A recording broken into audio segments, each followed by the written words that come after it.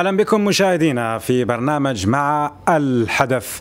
النقاش سيكون اليوم حول مشروع قانون الاستثمار بصفته الفاعل الأول في توفير المناخ الجيد للأعمال وأيضا مناخ النجاح. من حيث الاستقرار في الإطار التشريعي تكلمنا في وقت سابق دائما وكان الكثير من المستثمرين من رجال الأعمال من المتعاملين الاقتصاديين يشتكون من البيئة غير المستقرة في القوانين التي تتغير في كل مرة. الآن مشروع قانون الاستثمار ينص على أن قانون الاستثمار الجديد لن يتغير إلا بعد عشر سنوات. نتكلم أيضا على تكريس مبدأ حريه الاستثمار والمبادرة. مشروع قانون الاستثمار الآن قيد الدراسة عرض بالأمس على اللجنة الاقتصادية والتجارة والتنمية والتخطيط لعرضه على اللجان لدراسته وإثرائه على أن يمر في وقت سابق في حدود علمي على على المجلس الوطني للمصادقة. عليه الأسبوع القادم إن شاء الله. اليوم سنناقش كل هذه النقاط مع زهير حميمص صاحب مؤسسة ابتكارية، مرحبا بك أستاذ زهير. مرحبا ومشكورين على الاستضافة شكرا جزيلا لك ومتشكرين لك تلبية دعوة البرنامج أستاذ زهير. أستاذ زهير الإرادة الحقيقية الآن عند الجهات العليا في البلاد في تحقيق النهوض الاقتصادي تقريبا باتت اولا بسبب بسن مشروع قانون استثماري جديد. أنت تتابع أيضا حل العديد من المشاريع الاستثمارية المجمدة. هل هذا يعطي الانطباع بأننا نسير فعلا لتحقيق إقلاع اقتصادي؟ يعني مبني على أسس علمية اقتصادية حقيقية. أم ماذا ترى أستاذ زهير؟ بعد بسم الله الرحمن الرحيم. حقيقة هل الإقلاع هذا اللي كاين اليوم ما صورش في الجزائر منذ أنا بالنسبة لي أنا ما زلت يعني يعني خالق في الستينات أيضا. ما زلت جيل الاستقلال أستاذ جيل الاستقلال 67 يعني من بعد. الاستقلال. حتى ما شفت يعني هالانطلاقة اللي هي نحسوها باللي مطمئنة ومحفزة حتى نروحوا إن شاء الله للقدام. فيه يبقى دائما بعض النقائص اللي إن شاء الله راح يكونوا مع في الاستمرارية إن شاء الله. مازال المح... فعلا هو حتى ب... باعتراف الرئيس عبد المجيد تبون قال في أنه في وقت سابق ما كانش عندنا استثمار غير مبني تماما على أسس اقتصادية علمية واضحة، الآن نتكلم على في إطار وجود مشروع قانون استثماري يتم الآن مناقشته والذي ينص على الكثير من النقاط على الشباك الوحيد. وتكلم أيضا أستاذ زهير على عامل الوقت. مهم جدا دراسة آجال دراسة المشاريع الاستثمارية الطعون وغيرها أستاذ. هو باش نرجع شوي للموضوع يعني في بدايته هو درك راح ولات حتمية علينا في في على الانفتاح وعلى يعني في تطبيق منهجية اللي تكون صالحة منهجية اللي تكون تعطيك يعطيك تعطيك مكانة في في المسابقة العالمية تعتبر مسابقة. اقتصاديه بالامتياز آه. فيه منافسة شكون اللي يحكم السوق شكون ما تنساش باللي العالم عالم هو واحد واحد يعني مساحته هي هي. وش هي؟ فيه تغيرات في النمو فيه تغيرات في كل شيء. دونك في الجزائر رانا في الطريق الصحيح يعني آه. وعامل الوقت هو أساسي في في اللعبة هذه كمان عامل الوقت جد هام. لماذا يتمثل أهمية عامل الوقت أستاذ درك حتى نعطيك لأنه يقولوا الوقت هو business يعني هو هو مال. واعمال كانوا حتى يعطوا le temps c'est de l'argent يعني راح تفقد شيء كثير في, في الوقت. surtout الوقت اللي رانا فيه وقت التحضر هذه يعني فيه تغيرات كبيرة. ممكن الإنسان العادي كما يسوحهاش. بصح درك نعطيك مثال برك باش تفهم مليح لو سيكل لو سيكل دان برودوي ولا يعني الحياة تاع تاع منتوج ولا ولا صغير. ماشي كيما بكري. مثال حي. السيارة بكري يعني 20 40 سنة اللورا ولا 30 سنة كانت تصنع سيارة ممكن كل خمسة عشر سنين عاد تخرج سيارة جديدة. درك لا. ابتكار جديد. ما يعني فيه سيارة جديدة. درك لا في في العالم تقريبا كل ست شهور فيه نوع من سيارة جديدة. فيه مثلا الهواتف النقالة. يعني هاي حتى les récentes l'industrialisation تاعهم. يعني راهي ناشئات. ما يعني غير ما عندنا حوالي 20 سنة يعني ملي خرج التليفون تليفون درك عاد ما يستغرقش وقت. ست اشهر يخرج موديل جديد آه. يعني.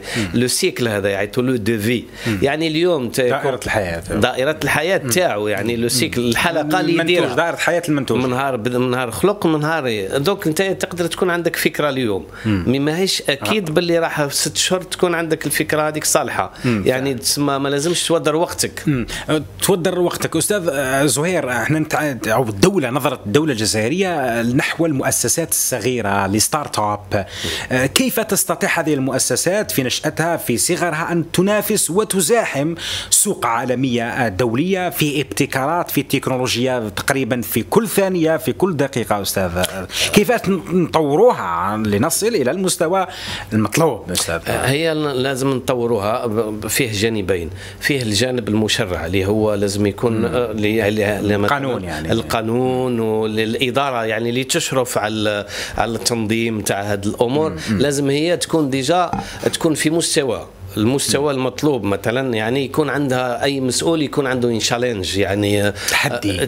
تحدي وممنهج يعني تسمى الوقت ما ما ما كافي يعني هو بالذات يعرف وين حيب يروح باش يخلي المجال après يخلي المجال les start-up هذو les start-up généralement c'est une source de richesse يعني مصدر ثروة.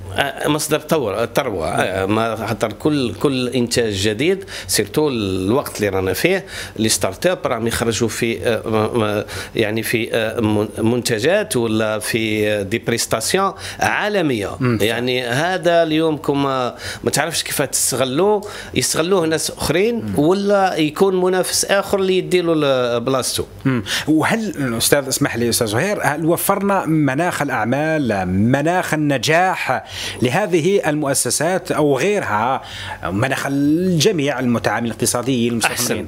المناخ الأعمال موجود يعني في الجزائر بحكم آه. إنه فيه سوق فيه أمور. مناخ النجاح ما هو, هو مناخ الأعمال؟ حتى أنا أفهم يعني. مناخ, مناخ الأعمال. يقول لك مناخ الأعمال غير محفز غير لا مناخ الأعمال يعني ما دام ما كاين متطلبات كاين حياة آه. كاين أمور وكاين نقائص هو مناخ, هو مناخ الأعمال. إيه مناخ النجاح هو اللي غير موجود. آه. نقص ما هو مناخ النجاح؟ مناخ النجاح هو لازم تكون فيه قوانين واضحة فيه آه. شفافية فيه تسهيلات فيه آه، أمور اللي هو ينجح كما مثلا آه، عند الناس نحكموا منتوج عند إنسان يعني يصنع فيه ولا آه آه. هو عنده مناخ الأعمال راه موجود على هذيك آه. دار هو الاستثمار مي مناخ دراسة يعني مناخ النجاح فيه معطيات مثلا آه. إحنا المؤسسة تاعنا من بين مناخ النجاح اللي حطيناه فيه مثلا la certification مثلا إحنا l'objectif تاعنا إنه نروحوا للعالمية. آه، من بين آه، مناخ النجاح يعني اللي تخلقوا إنك تسقم روحك و c'est. يكون عندك منتوج de vraie qualité يعني مستوى عالي. تكون تسمى adapté les exigences في اللي كاين في العالم. في العالم. يعني هذا هو مناخ النجاح. شكون يوفر هذا مناخ النجاح؟ هل الدولة هي التي تتكفل بتوفير مناخ النجاح لهؤلاء للناشطين في أم يعني المؤسسة هي التي تخلق هذا المناخ هي التي تفرض نفسها في السوق هي التي توزع وتسوق ويعني تذهب إلى لا هو هو هو يبقى مناخ النجاح تساهم فيه الدولة. هو اللي تخلقه لك. وكاين مناخ النجاح تاع لو برودوي يعني الإنتاج المنتج في حد ذاته هو يوفر المنتج هو بالذات يعني تسمى يسجله. mais اليوم تصنع على روحك منتوج مليح يعني انت كمصنع عندك كونت مناخ النجاح. بصح ما قدرتش تبيعه خاطر مناخ النجاح الخارجي ما عندكش. مم. مثلا تروح الادارات تمنعك من شيء. الشبح الأول هذا هو مناخ الحاجة النجاح اللي يكون فيه تحفيزات تكون فيه transparence تكون شفافية. فيه آآ آآ يعني شفافية حتى الإنسان يوابد على الطرق الصحيحة. خاطر باش ننجحوا ننجحوا بالصح ما ننجحوش بال أستاذ تقريبا اتهمت الإدارة البيروقراطية بأنها العدو اللدود الشبح الأسود للاقتصاد. هو الذي عطلها قد يغادر موظف بسيط في إدارة معينة يعرقل لك مشروع بملايير يوظف لك آلاف العمال موظف بسيط يعني. إبعاد الإدارة من التعاملات الاقتصادية. الآن عندنا تقريبا الشباك الوحيد جهة وحيدة هي التي تتكفل بالنقاش مع المستثمر. هل هي نقطة إيجابية؟ أكيد لأنها كانت محل مطالب من الكثير من المستثمرين. أمثالكم سيد زوير هي بالطبع آه، قضية الشباك كل الوحيد وتقليص هامش كل تقليص كل تقليص وثيقة ولا كل تقليص في نربحوا وقت أكيد. آه. mais إحنا باش نروحوا la perfection لازم لنا encore وقت يعني ما زلنا وقت شوية حنزيدوا نوتروه. mais نقدروا نروحوا يعني كي يكونوا المسؤولين تاعنا يسموا حتى الانشغالات هاد هاد الناس ممكن نزيدوا نصلحوا au fur et à mesure نمشوا نصلحوا مش au fur et à mesure إحنا ما نصلحوش والزمان يوضرنا je veux dire يعني nous dépasse الآن فيه إرادة الإرادة هذيك تاع الشباك الواحد يقدر يكون هام جدا. مي ماهاش هذا المشكل آه. الكبير خاطر كاين ناس مستثمرين ما حتمش يروح على عن طريق يعني مكتب الاستثمار. آه. سي با فورسيمون يعني ينجم يستثمر بسواردو. هناك يعني مؤسسة تعطي لك الموافقه على هذا المشروع أستاذ. نعم. يجب هناك أطر تتبعها لا كاين كاين في بعض في إذا كان عندك مشروع مشروع معين فكرة معينة تذهب إلى أعتقد الوكالة لا هذيك تدخل في تدخل في الديسبوزيتيف برك يعني أو سياني سياني. أه، أه، ما هيش حتمية. آه. هو اليوم عندك مال أنت حابب تستثمر وحدك بلا ما تدخل تدي تحفيزات من عند آه. الدولة. عندك أرض عندك لباس. ما تحتاجش يعني من الدولة. ما حتى مش تدخل في, في يعني في الديسبوزيتيف اللي آه. دارته الدولة اللي تمد لك فيه تحفيزات فعلا. جمركية وهذيك. مي هذاك الشيء يعتبر اوبيراتور ايكونوميك هذاك الشيء لازم الدولة متعامل هو لازم نخلقوا مناخ للنجاح مناخ للنجاح يعني سهل ما فيهاش. مناخ للنجاح يتطلب. الفو الفو كونتراس تتراسي يعني الدولة والإدارة تتراسي ان شومان دو كوندويت سيتادير آه، آه، آه، ممر السياق اللي فيه تسمى كيف تصير الأمور. يتقرأ ويتدرس ويتحط درك الحمد لله لانفورماتيزاسيون سيتادير الإعلام الآلي هذا راه خلق لنا خلق لنا أشياء كثيره لي لوجيسيال تو وين نجموا نراقبوا كل شيء ديستونس دونك باش تعطينا شوية شفافيه ويعطينا نفس باش نروحوا للطريق الصحيح. قضية الشراكة أستاذ زهير مع المتعامل الاقتصادي الأجنبي. م. الآن فيه تحفيزات كثيرة قضية ضمان تحويل رأس المال المستثمر إلى غير المقيمين إلى الخارج. كانت بالنسبة للمتعاملين الاقتصاديين الأجانب هاجس كبير أنهم يجوا الجزائر للاستثمار وبعدين ما يقدروش ينقلوا يحولوا الأموال. هل هذا ربما فعلا سيحفز أكثر لخلق شراكات؟ أنتم مثلا كمؤسسة مصغرة أو غيركم يقدروا يعني يكون هناك شراكات حركات آه، هو هو بالطبع آه، آه، فيه التحفيزات هذو يخليوا انه السوق يهتموا به ناس يعني خارج البلاد منهم يعني لي زيترونجي بصح عرف شيء اللي هو هذا يعني نحن نقولوا له باللغة العامية البراني آه. من عمره ما يمد لك آه، أفكاره صحيحة. آه. من عمره ما يمد... هذاك هو سلاحه هذاك اللي عايش به هو يعني لو ترانسفير تكنولوجيك تو هادو لازم تالي تجيبهم. وحنا ما مخصوصينش. إحنا كجزائريين عندنا افكار عندنا امور. هو ممكن الشراكه تصلح مثلا الإنسان مثلا يخدم لاغرو اليمونتير ولا يعني المواد اللي هي بسيطة يجيو ليها. بصح بور ترانسفيري دو لا تكنولوجي صعب جدا صعب جدا يعني. تسمى لازم فريمون يلقى تحفيزات أكثر كبيرة باش ولا نحن عندنا الحمد لله عندنا بوتونسيال دو ريشيس هيومان طيب لو بونور تاعهم هما في الخارج. سينو سينو. فعلا. يعني الأمم هذه اللي اللي مدت من النفس والنفيس واللي تعذبت وهذيك عندها عندها في في في ضميرها عندها في السيرفو تاعها. هما يتمتعوا بنا علاه يخرج منه. ولكن هما في الغالب أستاذ أعتقد تكلمنا في, في الكويس قضية تكوين المتعاملين الاقتصاديين. عندهم ربما منظومة اللي تكون في كل دورة قضية المتعاملين الاقتصاديين. ما يسمح أيضا للمؤسسات الابتكارية أنها تكون عندها ابتكار ابتكارات اختراعات في كل في كل دورة يسمح لها بالمنافسة و لا هما عندهم دي كابتور. هما أنا شفت عبر باسكو عندي دي بارتنير اوسي في الخارج يعني آه. يعني نخدم معهم نمشي موجود شركات ما عندي نخدم معهم في في مجالات كثيره هكذا ونحضر معهم في المعارض نحضر بارفوا دون دي كونفيرونس انترناسيونال أنا من التسعينات وحنا في الميدان آه. يعني مش اليوم. وحنا أول ابتكار ديجا حطيناه في 2000 يعني في 2000 صافي 22 سنة لورا. هما الفرق اللي عندهم. يزون دي كابتور نعطيك مثال. مثال يعني مم. بسيط. تفضل أستاذ. إحنا اليوم مم. تحب تعرف لو جيزمون تاعك تاع الابتكارات وهذيك روح لينابي. لينابي نعم. يوميا يوميا يوميا. موجودة هناك ابتكارات. يوميا الناس تجي تحط الابتكارات تاعها. آه. والمشكل أين الآن أستاذ؟ موجودة ابتكارات وأي ابتك... ما عندهاش وقع إسقاط على الواقع. ما خاطر تخلق ميتة باك تخلق آه. وتموت. آه. تخلق وتضيع. هذا السبب على هذا أستاذ. كيف تفسروا أستاذ؟ أنا عطيت لك مجا... مناخ النجاح مناخ النجاح مناخ النجاح لما هو نورمالمون لا لوجيك لا لوجيك أي أي أي ديبو دو موديل ولا ديبو دو بروفي ولا ديبو دو دو, دو هذاك لابد لابد لابد تروح تجيب وتهضر معاه. لابد لابد لازم تشوف معاه وين. المشروع يقدر يكونوا أفكار أفكار هايلة بصح ما نوصلوش بهم النتائج ممكن جدا هذا اللي ديبو اللي يحط لو ديبو تاعو ولا في لينابي. ممكن ما يعرفش يعبر عليه ويولي له بان ولا يطول عليه ولا. تروح سو فولاتيليز. الأفكار يفو با تروح. هي أي فكرة لبعض أي حاجة كبيرة. تبدأ فكرة صغيرة. وتعاود تنمو. نعم. تنمو.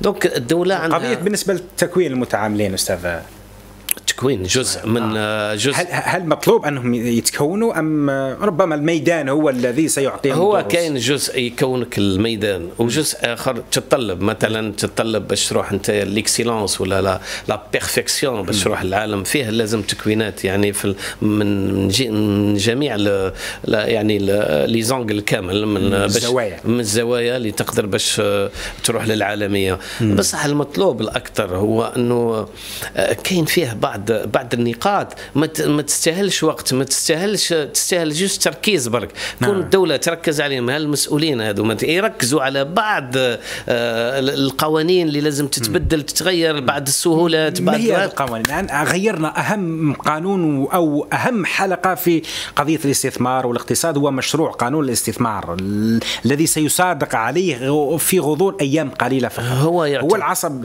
والتجارة أيضا التجاره الخارجيه هو هو يعتبر خبر إيجابي جدا آه. إيجابي جدا. ولكن اليوم هضرها رايس سمعته يعني بودني في ألو... رايس وش قال؟ قال كلمة والله العظيم قستني في القلب.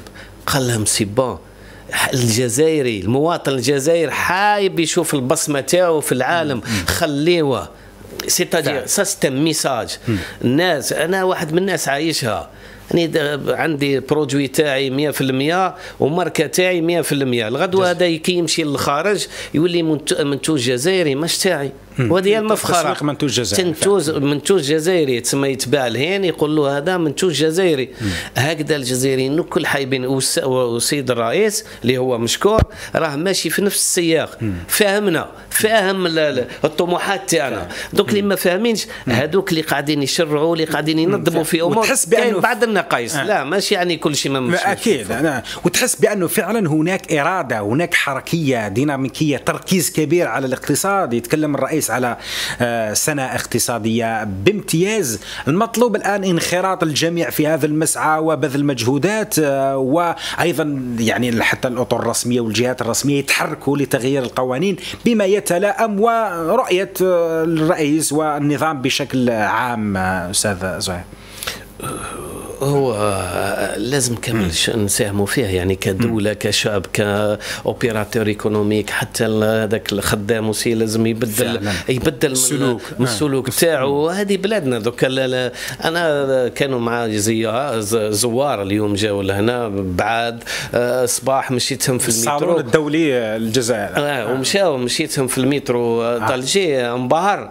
آه. وأنا ولت نفتخر له نقول له هذا مصنوع من يد جزائرية يعني آه. وهذا considère مفخر آه. علينا. فعلا. شوف la perfection وين درك considère مثلا ال tunnel هذاك اللي في المطار. اللي في المطار. 100% جزائري. تسيير جزائري. هذا هذا هو المميزات اللي لازم يكون عندك. اليوم تتميز في أفريقيا الغدوة تتميز في العالم. وحنا الجزائري معروف بالطموح تاعو. واليوم الرئيس يديكلار سا خليو الجزائري حايب يبرز. خليونا سيدي خليه. nous sommes on travaille dans la transparence أعطيني قانون خليه يراقب يراقبني. كان أنا نسرق ما نسرقش. نخرج على الإطار. c'est tout mais خليني أطلقني. خليني حر. خليني باش نروح أنا ننافس في العالمية. خليني باش ندخل الأسواق. العالمية. ونعود ندخل ندخل مال لبلادي نصدهر ندير آه، طرق كيما الناس كامل نخلي ولادي يزيدوا يطلعوا لي جينيراسيون اللي جايين. وهكذا ما هو الشيء الذي قد يعيق برأيك بتجربتك من التسعينات؟ ما هو الشيء الذي قد يعيق ال- الاقتصاديين المستثمرين من الإبراز كما قلت ومن الذهاب من التميز من إعطاء البصمة على أرض الواقع؟ باختصار ما زالت لنا ربع دقائق أستاذ إن زهير. شاء الله. هو في ال- في التميز كيف يكون يعني ليمرجونس يعني كيف حاجة تتطور ولا باش تتطور لازم تكون لها هذوك الحلقات اللي مفقودين اللي في الجزائر. دركا مثلا آه، أعطيت مثال يعني في حصة مع آه، إذا مع يعني آه، حصة تلفزيونية مع اذاعه أخرى. كاينة الفكرة تبدأ بها الأولى. ومن بعد تهبط تروح تجسيدها تجسيد. تروح- الميدان. يعني تروح لا فابريكاسيون ومن بعد تروح نورمالمون للتسويق. في التسويق هذاك كي تسوق المنتوج تاعك يدخلوك مال يدخلوك مال الشركات تعاود ترجع لها الخير هذاك يعاود يكبر الشركة تاعو ويعاود يكبر وتولي تولي تسمى ممارسة. عجلة. عجلة ويطلع سكون أبيل. حنا لا- كور بيراميدال آه. يعني يطلع من نقطة صفر ويبدأ يطلع واحد اثنين اربعه ويطلع حتى يحكم كما هذاك حنا تخصنا حلقة. الصغار هادو اصحاب الابتكارات اصحاب الشركات الناشئة، الناشئة آه. راهم عندهم إشكال كبير surtout في المنتوجات الجديدة هذه المنتوج الجديد يتطلب مساحة وين ينجم وين ينجم يعني يروج عليه مساحة وين ينجم يبيع فيها وين ينجم يدخلوا un retour و le retour هذاك يعاود يتطوروه هذه ما كانش في الجزائر نزيد نعطي exemple. يعني آه، آه، مثال. مثال يعني سهل باش يفهموه كامل surtout الكبار آه. نقول ونختموا بها لازم أستاذ. نوليو العهد وين كنا آه، كاين فيها اسواق الفلاح آه. وين كاين فيها les Monoprix هذاك هو السر آه. المفتاح تاع la réussite تاع les start-up هادو اللي باش يبيعوا كل ما هو مواد آه. ما آه، نهضرش على آه. les services parce que ça se fait في, نعم. في ال virtuel. mais كل ما هو منتوج جديد لازم تكون عنده منصة اللي ما إيطالي اترافير لي 58 ولايه باش التم يكون ليمرجونس والتم يخلق شيء آخر ويخلق نمو آخر ونولي المؤسسة تكون في صحة جيدة وتقدر تافونسي وتزيد تاميليوري وزيد تروح. حنا هذا الشيء ما عندناش في الجزائر. ما كانش. دونك يخلق اليوم يخرج منتوج ويعاود يموت له المنتوج ويعود مم. للأسف الشديد دونك الدولة تمدت مدت مال مدت تحفيزات غيرت قوانين دارت. مجهود كبير. بصح من بعد يرجع ل يرجع ل كاش مردودية ما كاش يرجع إحنا صارت لنا إحنا عايشين فيها أخي. إحنا عايشين فيها. مستحيل. باش أنا نزيد ندير شركة أخرى نسيرها اللي فيها آه، مختصة في la commercialisation ولا مختصة في ال- في التوزيع. وهذا غير ممكن. يعني شوف البلدان لا باشا المجاورة ولا في أوروبا مدايرين منصات مول المنتج تجيب الانتاج تاعك تمدوا المنصة وهو يدبر راسه شكرا جزيلا لك أستاذ زهير حميمس صاحب مؤسسة ابتكارية على كل هذه المعلومات والتحليل شكرا جزيلا أنت متفائل أكيد أستاذ زهير متفائل بالأمر. جدا جدا جدا متفائل كما الشيخ. بالماضي؟ ولما المتعاملين الاقتصاديين المتفائلين آه، شيء جيد لأنه. الاقتصاد عنده انعكاس إيجابي على القدرة الشرائية والوضع الاجتماعي في البلاد هاد الديناميكيه ما آه. كانتش قبل بكل صراحة يعني درت درت الانفستيسمون تاعي دون لو كاد دو لابسي يعني أوندي آه. في 99 لا ما عندناش ديما- آه، هذه آه،. هذه أحسن ما إن شاء الله فترة يعني آه. إن شاء الله, نبرهن. تكمل بشكل إيجابي جدا يعني شاء شكرا الله. جزيلا لك أستاذ. زهير حميمس نلتقي في الجزء الثاني للحديث عن قضية الغش في الامتحانات والعدالة كشفت على الكثير من الخيوط حولها مع الأستاذة فريدة عبري الحقوقية والاستاذه الجامعية. لا تذهبوا بعيدا.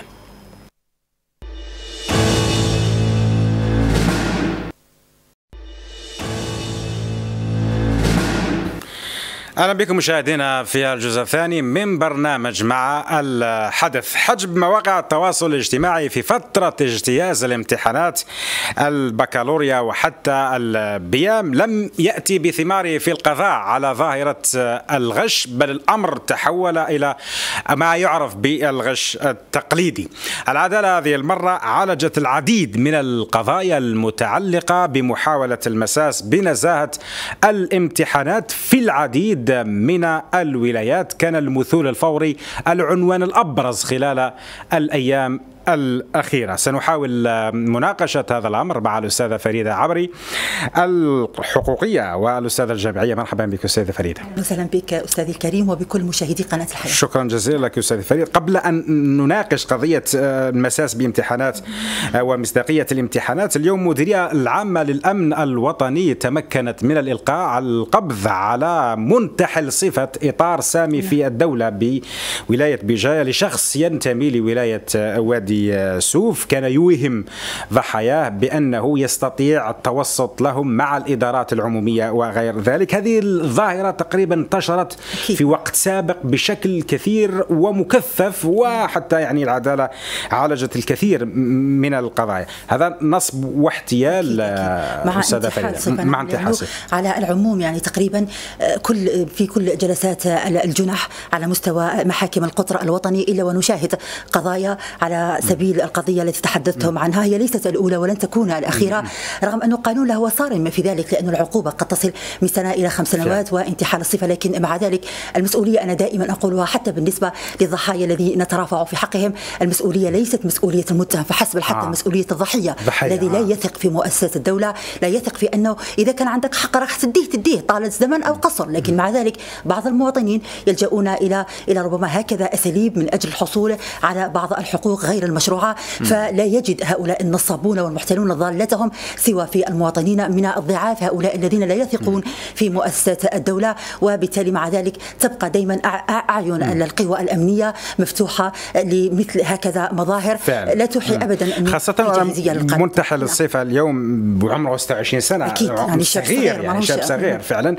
كان يلبس في في بعض المرات لباس المحامي لباس الطيار كل مرة على حسب على حسب القضية أو لا أدري آه، ماذا كما قلت المشكلة أنه في المواطن الذي ربما لا يتحرى المصدر لا يتحرى من هو ذلك الشخص نعم. هو وما يسهل ربما على نعم أستاذ هو لأنه المشكل دائما ما نقدروش نقولوا أنه هذا النصاب ما كانش ممكن انه يلقى الضاله تاعو لو لم يجد مواطن ضعيف مواطن يحب الطرق السريعة يحب أنه يقضي إصلاحه بالعامية بأسهل الطرق مم. حتى لو اقتضى الامر أنه يدفع مبالغ مالية لأنه دائما النصابون والمحتالون يقولوا أنه تعاملنا مع هذا المواطن كان بناء على دفعات مالية مم. اليوم مثلا آه، في مؤخرا فقط أستاذي الكريم عولجت قضية على مستوى أحد الأقطاب الجنائية تتعلق بنصاب هذا النصاب احترف تزوير الملفات الخاصة بالسكن بحيث آه. إنه يقول المواطنين اللي يعرف إنه حاجتهم ماسة إلى سكن اجتماعي مم. من معوزين وطبقات الهشة أنا نساعدكم أنا أنا جنرال ونقدر نعاونكم باش تحصلوا نعم. على سكنات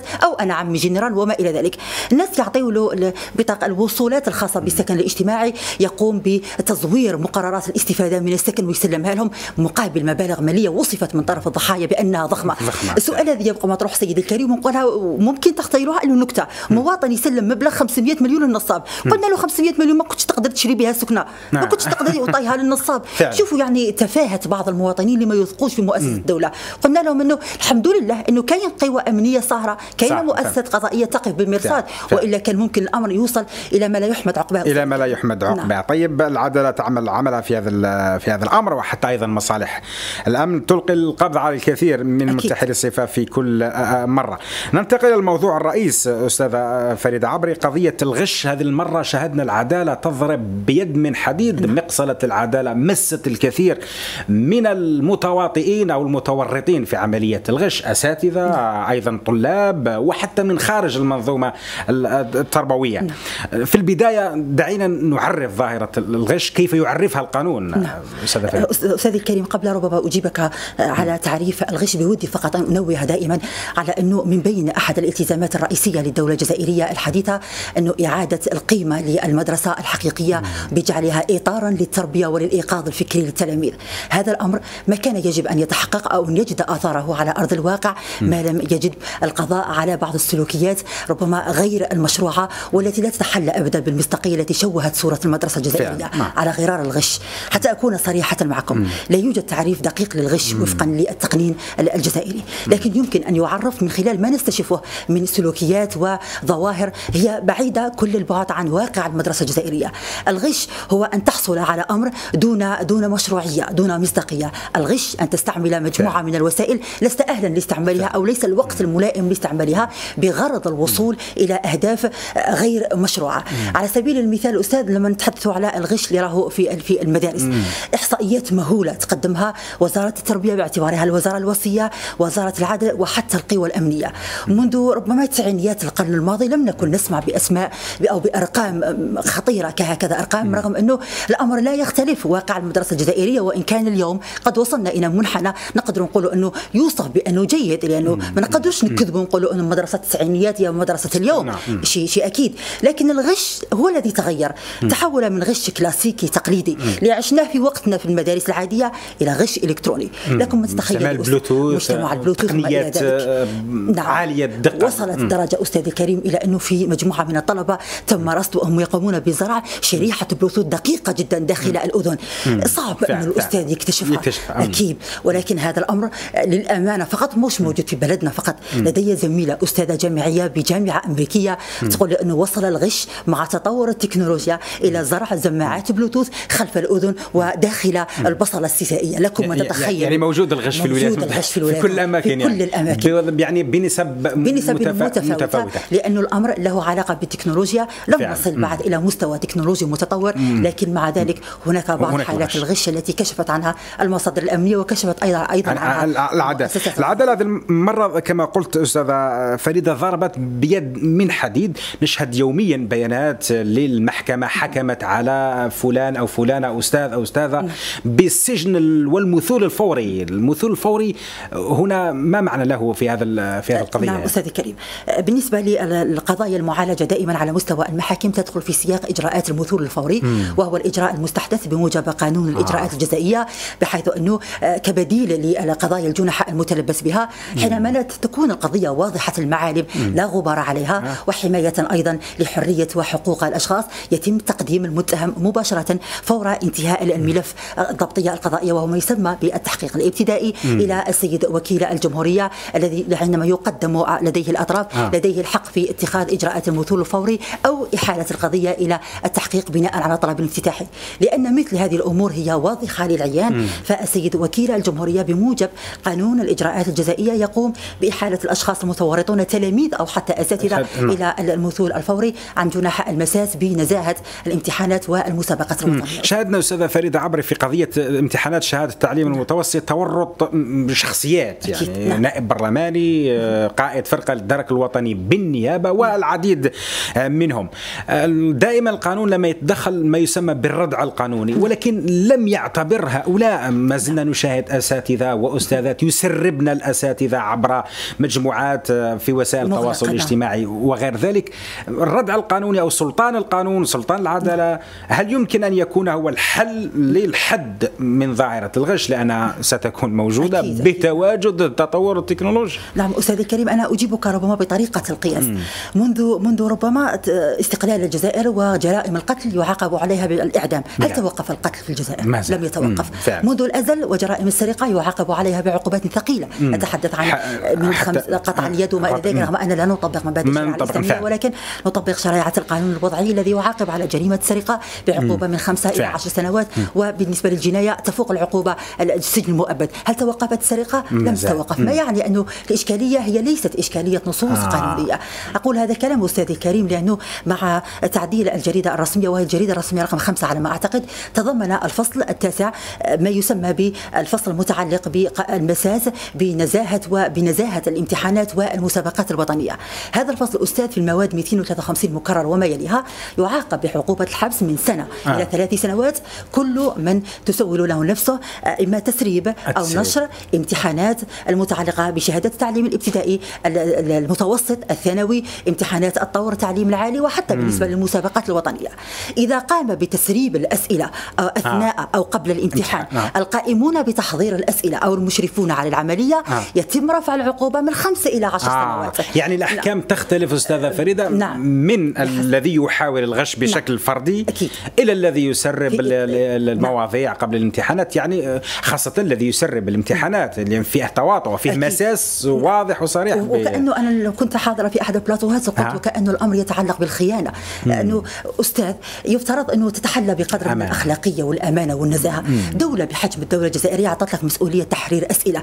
ثم انت اللي يفترض أنه تكون تكون أنت عبرة للتلاميذ راح يمتحنوا تقوم بتسريب الأسئلة. لذلك حق على المشرع الجزائري في هذا أنه الف- يشدد لك العقوبة توصل ل 10 سنوات. فعلا مؤخرا استاذه أستاذة فريدة قضية الذين يحذرون تقريبا ما شاهدناش هذه المرة أنهم يسربون آه، نعم. ربما في وقت سابق شاهدناها لما كانت الإنترنت أو وسائل التواصل الاجتماعي شاهدنا فعلا تسريب بعض المواضيع. الآن لا نشاهد تسريب المواضيع بقدر ما نشاهد حالة غش نعم وتواطؤ في بعض الأحيان. لا نشاهد آه، تقريبا تسريب المواضيع أكيد، قبل أكيد. قبل الامتحانات نعم، هو- لأنه فيها تشديد ال- ال- الأمور بشكل دقيق. صح هو هذا هو التجديد دائما. أستاذ مناطه إعادة الهيبة والمصداقية لكل الشهادات التي ربما شهادات الوطن اللي هي على غرار البيام التعليم البكالوريا. وسيما البكالوريا. عينا نقولوا إحنا. تروح تقول نحوسوا على المصداقية ولا بد أنه شهادتنا البكالوريا يكون معترف بها بالنسبة للدول الأوروبية والأجنبية. راكم تحوسوا على المصداقية قضيوا على الغش ترجع المصداقية. هذه هي رسالة ربما الدولة الجزائريه اللي البعض يقولوا أنه حتى بالنسبة للإنترنت اللي اعتبروه عقوبة جماعية. معليش نضحيوا. مهم تك- نعيدوا الهبه بالنسبة لشهادة في قضية. قطع الإنترنت نعم. هناك هناك إنترنت نستطيع أن نلج إليها ولكن أعتقد بأنه في حجب لوسائل التواصل. الاجتماعي هذا هو الأساس. الإنترنت أنا استعملت الإنترنت ال- اليوم بشكل يعني على دوري ولكن التواصل الاجتماعي فعلا والبعض يعتبرها يعني وكانها عقوبة نعم، نعم. بس فعلا هو الشارع يقول أنها عقوبة جماعية ولكن هم يجهلون على أنه الدولة الجزائرية إنما حجبت بعض مواقع التواصل الاجتماعي واللي دائما تلقى رواج فيما يتعلق بالغش على غرار تطبيق الماسنجر الفيسبوك لأنه حتى بالنسبة للأستاذة التي أدينت على ما أعتقد ب 18 شهر حبس نافذ بتهمة آه، ربما ضبطها وهي تصور تصور، نسخة من من الأسئلة وبحثها عبر آه، حلقات مغلقة أو على مستوى تطبيق الماسنجر أدينت لأنه استعملت تطبيق الماسنجر. يعني عرفنا الآن أنه أين ينتعش هذا الغش لما وقفت الدولة الجزائرية ومن خلالها القوى الأمنية على المصادر اللي تخلي هذا الغش ينتعش قامت بحجبها. لكن الإنترنت كشبكة عنكبوتية هي موجودة هي موجودة. متناول الجميع طبعا. هي رسالة تقريبا الآن يعني شاهدناها في هذا العام بشكل مكثف قضية المثول الفوري والأحكام ال- الفورية للعديد. قلنا بأنه ليس هناك تمييز أو انتقائية للمتواطئ أكيد، نعم. ليس هناك تستر يعني أكيد، الشيء الجميل في كل محل. مهما يعني تعالت الطبقات ال- ال- الذين شاركوا حتى وصلنا إلى نائب برلمان نعم، هذا الأمر رسالة واضحة للجميع بأن الدولة الآن تريد أن ترجع مصداقية الامتحانات الرسمية. كانت BEM أو باك أو يعني licence أو غير ذلك أستاذة فريد نعم لأنه نعم أكيد أستاذ الكريم لأنه دائما آه، إنما المواطن المواطنون متساوون أمام القانون. هذه المساواة جسدتها المنظومة التشريعيه الجزائرية بأنه حينما يقف أمامها متهم بالمساس بنزاهة ومصداقية الامتحانات أو المسابقات هي تنظر إليه كمتهم بعيدا عن هويته بعيدا عن شخصيته فقط تنظر إليه بصفته ماذا قام بهذه العملية. لو لو التلميذ فتعاقبه في بسياق المادة آه. 253 مكرر سبعة. لكن لو كان أستاذ أو مؤطر أو قائم بعمليه؟ الحراسة مشددة آه. من خمسة إلى عشر سنوات. آه، بالنسبة إذا للأستاذ. أدى نعم بالنسبة للأستاذ أو المؤطر بصفة عامة. ولكن إذا أدت هذه العملية إلى إلغاء جزئي أو كلي للعملية الامتحانية في هذه الحالة تشدد العقوبة من سبعة إلى 15 سنة. يعني في سابقة لم تحدث على على مدار كل التعديلات التي نعم. مست قانون العقوبات. آه، جاء هذا التعديل كما قلت أستاذي الكريم جاء هذا التعديل حتى يضرب بيد من حديد فعلا. دون تمييز. المهم يوجد خطأ. يوصف بأنه عرقل عملية الامتحان وبالتالي العدالة دائما بالمرصد. وشاهدنا العدالة أستاذة فريدة تتحرك ليس حتى في قضية الامتحانات في الكثير من الأمور. أتذكر هنا قبل حوالي أسبوعين فقط من الآن أوقفت مسؤولين كبار في النقل البحري لأنهم أضروا بالاقتصاد الوطني والعديد من الملفات تناقشها العدالة بشكل دوري. هل نستطيع أن نقول هنا بأن العدالة العدالة فعلا بدأت تتحرر ربما من التعليمات من رنين الهاتف من عدالة التليفون كما يسمى. والذهاب إلى عدالة فعلا مستقلة تتحرك عندما يجب التحرك أستاذ هو هذا هو الشيء الإيجابي الذي حصلنا عليه منذ الحراك المبارك. المواطن الجزائري الذي كان دائما يحلم بأنه لابد من عودة الثقة في مؤسسات الدولة الجزائرية قالها السيد رئيس الجمهورية إن استعادة هذه الثقة لابد أولا من استعادة ثقة المواطن في العدالة. المواطن اللي كان يقول أنه وليد الزوالي خلصها حبس لكن وليد فلان وفلان حتى المتابعة الجزائية ما تكونش ليه. المواطن اللي كان يقول أنا عندي حق وبكواغطي يسمحوا لي على الكلمة هذه وما نديش حق آه. ولكن اللي ما عندوش وثائق يمشي أمام العدالة ويعطوا له حقه. حرونا من هذه الأمور لأنه إذا حبينا إصلاح المجتمع لابد من إصلاح العدالة. قالها مرة رئيس وزير الخارجية تشرشل سألوه لما في إبان الحرب العالمية قالوا له قطاع الصحة راه متضرر. قال لهم معليش. قالوا قطاع التعليم راه متضرر؟ قال لهم معليش. قالوا قطاع العدالة راه متضرر؟ قال لهم لا. إلا العدالة, العدالة. مستعدين نقدموا تنازلات في كل شيء ولكن العدالة لا.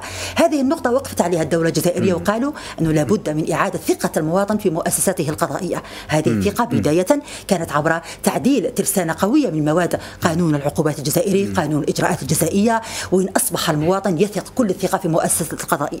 بعد أتبا بما يشبه بمحاكمات القرن محاكمة الفساد. آه أعطيني الجزائري. ولو يمشي في الشارع يقولوا أنه هل كنت يوما ما تحلم ولو في المنام.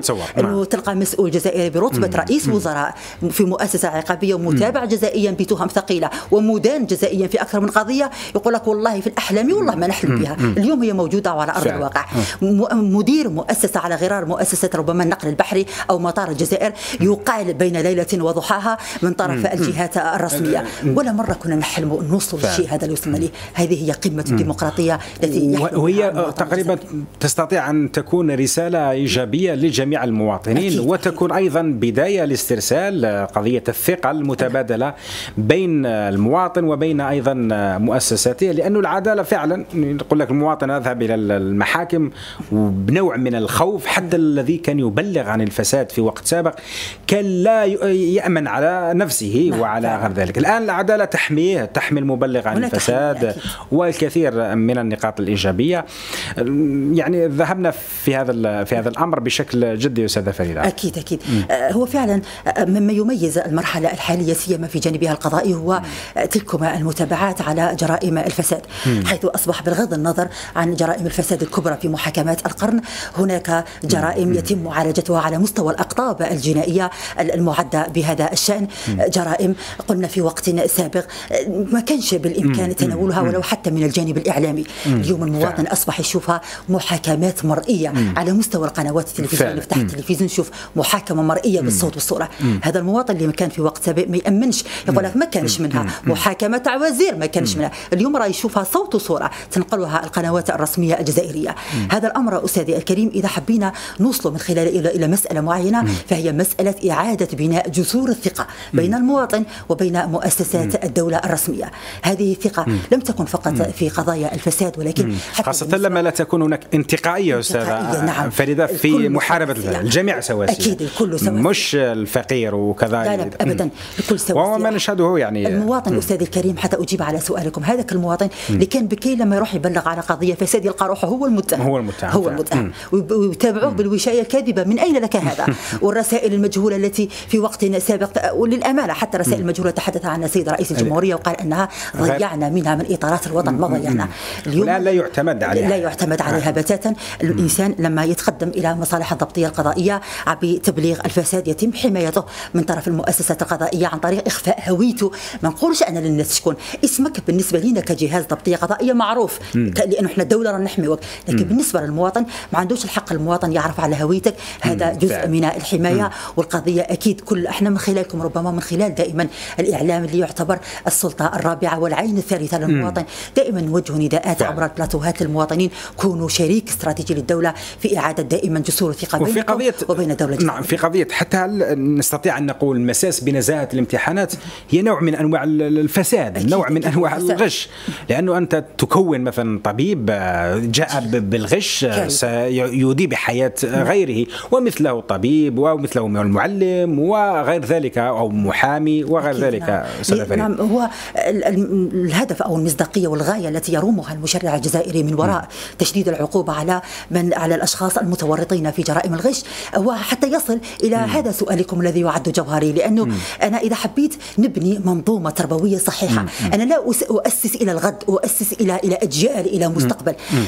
لما نقول إنه على المدرسة أن تتحول إلى إلى إلى إطار للإيقاظ الفكري وكأنه رئيس الجمهورية بهكذا خطاب روح حاب يقول يا ناس المدرسة الجزائرية لازم لازم تكون وكأنها مصنع لتخريج النخبة والكفاءات الوطنية لما غدوة أنا نمشي إلى مستشفى ونتلاقى بطبيب ويعطيني وصفة فيها دواء لا ينطبق تماما على تشخيص الحالة.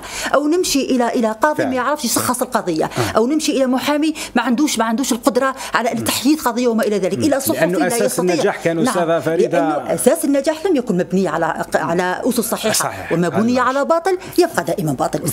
لذلك الآن الدولة يعني تتحرك بشكل رسمي بشكل مباشر وبشكل ردعي شاهدنا قلت في العديد من الولايات في بسكرة في غردايا في البيام شاهدنا في ولاية المغير نعم. سقط أيضا نائب برلماني سلطان العدالة قلنا ممكن أنه يكون جزء من الحل نعم. والمعادلة قضية يجب أيضا تربية الأجيال نعم.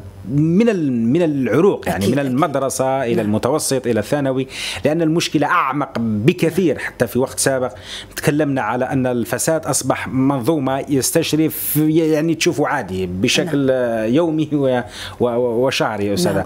الأمر أعمق من انه سلطان القانون هو الذي يحد من هذا نعم. من هذا الظاهر هو, بسؤالكم هذا تكونون قد وضعتم ربما اصبعكم على مكمن الجرح م. القانون ليس دائما هو الرادع م.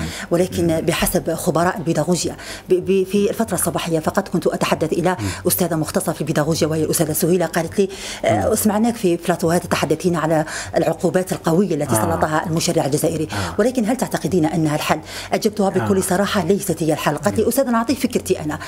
لأنه مناهجنا التربوية مناهج هجة هشة عفوا مناهج ضعيفة. تحت هجينة تعتمد على الحفظ.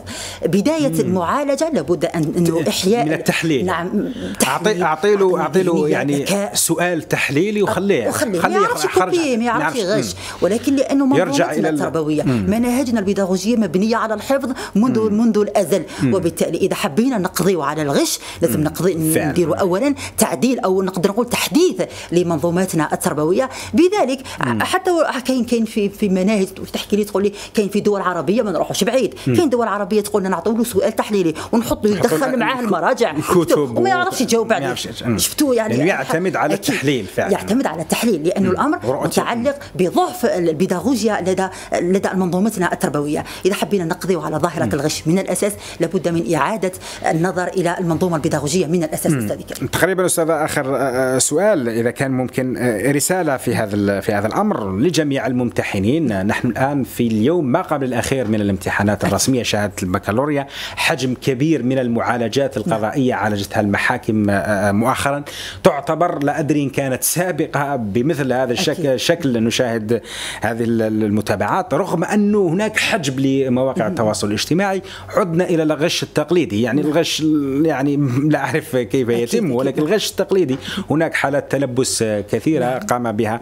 آه، وهذا هذا هذا الأمر هذا التشديد لما يراه التلميذ ألا يؤثر ربما تقريبا على حالته مردوده في القسم في الإجابة على غير ذلك؟ أكيد. هو كنا كنا سمعنا بعض التلاميذ يقولوا إنه لما ندخلوا إلى مؤسساتنا التربويه نعم في تشديد نعم فنشوفوا إنه في تشديد. آه، هذا التشديد هو نفسيا يأثر علينا.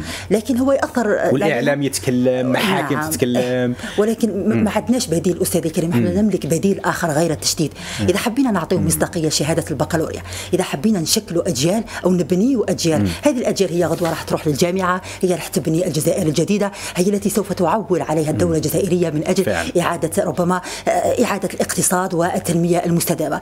آه، لازم يتعلموا أبنائنا وبناتنا إنه الله غالب لما وصل الموس إلى العظم. لأنه لما تشوف إنه انت اللي قريت نشوفوا إحنا ما نشوفوش دائما. تتساوى يعني مع اللي ما تتساوى مع اللي ما قراش. والله مرة وش يقول لي تلميذ؟ يقول لي يا أستاذة أنا راجعت مادة الفيزياء. وأنا ما عنديش تليفون ما عنديش PC. ما عندناش أصلا انترنت في الدار. جوزنا امتحان الفيزياء وخدمت أنا فيه وكنت متأكد إنه ندي علامات فوق 19 ونص. نص نقطة هذه قال لي ممكن يعطيها لي الاستاذ رداءة خطي.